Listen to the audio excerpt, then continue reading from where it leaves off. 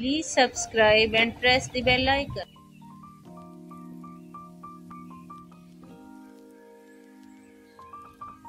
अस्सलाम वालेकुम welcome to my channel tasty food with Saimang कैसे हैं आप सब? देखने वाले, उम्मीद है आप सब लोग ठीक होंगे। अल्लाह पाक आप सबको अपने अपने घरों में, अपनी फैमिलीज़ के साथ ठीक, खुश और आबाद रखे। आमीन।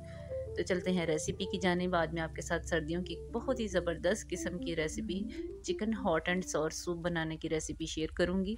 उसके लिए हमें जो चीज़ें चाहिए, उसमें मैंने मटर लिए हैं आधी प्याली। एक जो है वो छोटे साइज़ की शिमला मिर्च जूलियन कट है कॉर्नफ्लोर है, एक टीस्पून नमक है, आधी टीस्पून काली मिर्च पाउडर है, आधी टीस्पून सफ़ेद मिर्च पाउडर है और कुछ ग्रीन हर्ब हैं, एक अंडा है चार टेबल स्पून केचप है सादी। एक छोटे साइज़ की गाजर ग्रेट की हुई है मेरे पास। छोटे साइज़ की बंद गोभी है बरी कटी हुई। हरी प्याज है थोड़ी सी कटी हुई। दो टेबल स्पून सफ़ेद सिरका है। दो tablespoon black soya sauce है। तो चलिए स्टार्ट करते हैं। बिस्मिल्लाहिर्रहमानिर्रहीम। सबसे पहले मैंने चिकन को एक टेबल स्पून ऑयल डाल के इसको बोन्स समेत आधा किलो चिकन लिया था और इसको हल्का सा फ्राई करके दो क्लोव जो है मैंने लहसुन के डाले थे इसमें और एक पीस दालचीनी का डाल के इसे अच्छे से कुक करके इसको हड्डियों से अलग करके पकने के लिए चढ़ा दिया था। और ये बहुत अच्छा हमारा जो चिकन है वो टेंडर हो चुका है। इसे तकरीबन 45 मिनट हो गए हैं कुक होते हुए। अब मैं इसके अंदर वेजिटेबल्स डालूँगी। अब मैंने इसमें मटर शामिल कर दिए हैं। साथ ही इसके अंदर मैं बंद गोभी शामिल कर रही हूँ। अब गाजर ऐड कर दिए मैंने।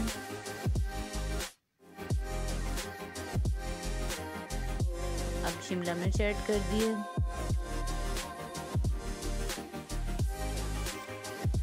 और अब इसमें हरी प्याज भी ऐड कर दी मैंने। अब इन सारी वेजिटेबल्स को मैं अच्छे से इसमें कुक करूँगी। चिकन और वेजिटेबल जो हैं वो अच्छे से मिक्स होकर कुक होंगी। एक बार इसे हटाऊँगी। और मीडियम टू लो फ्लेम के ऊपर ही इसको मैं कवर करके 10 से 12 मिनट के लिए छोड़ दूँगी। साथ ही इसके अंदर मैं स्पाइसेस ऐड कर रही हूँ, नमक, काली मिर्च सफ़ेद मिर्च पाउडर और थोड़ी सी मैंने थाइम और साथ ही मैंने ओरिगेनो थोड़ा सा शामिल किया एक एक चुटकी। इससे फ्लेवर जो है सूप का बहुत अच्छा आता है। अब मैंने इसे कवर कर दिया है और 15 मिनट के लिए छोड़ दूँगी स्लो हीट के ऊपर। 15 मिनट हो चुके हैं। हमारी वेजिटेबल्स जो हैं वो अच्छे से कुक हो रही हैं। अब मैं इसके अंदर सफ़ेद सिरका और सोया सॉस जो है वो ऐड कर दूँगी।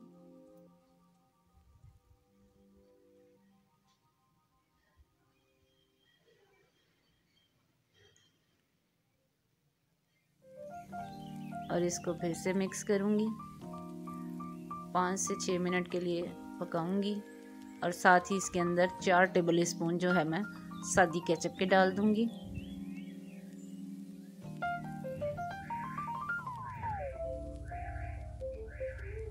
इसका अरोमा जो है वो अभी से बहुत ही अच्छा आना शुरू हो गया है।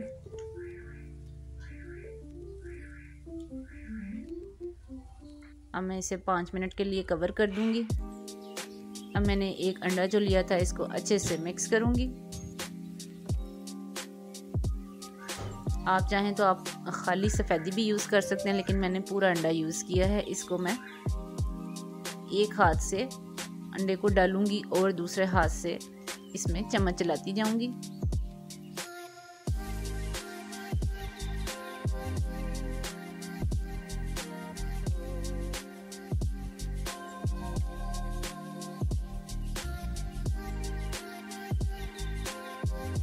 अंडा शामिल करने के बाद मीडियम टू लो फ्लेम के ऊपर इसको पाँच से छः मिनट के लिए मैं कुक करूँगी।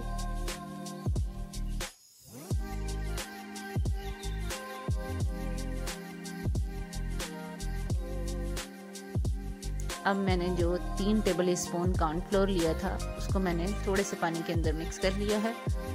अब मैं कॉर्नफ्लोर को एक हाथ से डालूँगी और दूसरे से मिक्स करती जाऊँगी।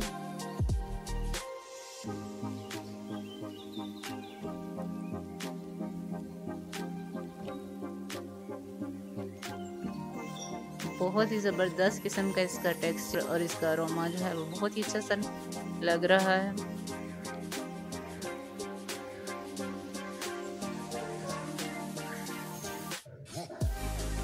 अब मैं कॉर्नफ्लोर डालने के बाद दो मिनट के लिए इसको स्लो हीट के ऊपर पकाऊँगी।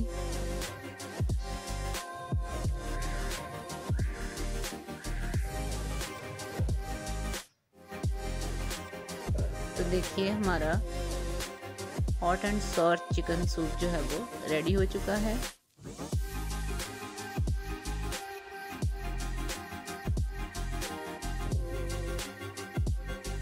अब मैं इसको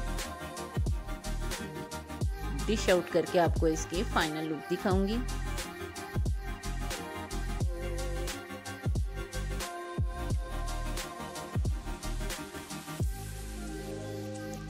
इसी दौरान व्यूअर्स, अगर आप मेरे चैनल पर नए हैं तो नए आने वाले लोगों के लिए मेरी एक ही रिक्वेस्ट है कि मेरे चैनल को सब्सक्राइब किया करें और उसके साथ छोटा सा लगा हुआ जो बेल आइकन है, उसे ज़रूर प्रेस किया करें। ताकि मेरी कोई भी नई वीडियो जो है, वो आपसे मिस ना हो।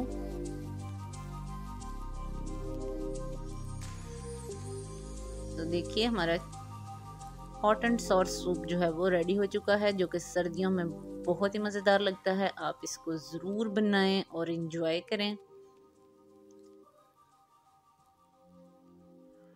ये देखें, इसका बहुत ही ज़बरदस्त किस्म का टेक्सचर लग रहा है। अगर आपको मेरी हॉट एंड सावर सूप बनाने की रेसिपी अच्छी लगी हो तो प्लीज़ इसे ट्राई करें, लाइक करें, मेरी वीडियोस को शेयर किया करें और मेरे चैनल को सब्सक्राइब करें। साथ लगे हुए छोटे से बेल आइकन को ज़रूर प्रेस किया करें और उसके साथ ऑल नोटिफिकेशन जो है उसको प्रेस किया करें ताकि मेरी कोई भी नई वीडियो जो है वो आपसे मिस ना हो। और रेसिपी के मतलब अगर आपके जहन में कोई सवाल हो तो आप कमेंट बॉक्स में पूछ सकते हैं। तो तब तक के लिए अपना ख्याल रखें, मिलते हैं किसी नई और अच्छी सी रेसिपी के साथ। अल्लाह हाफिज़।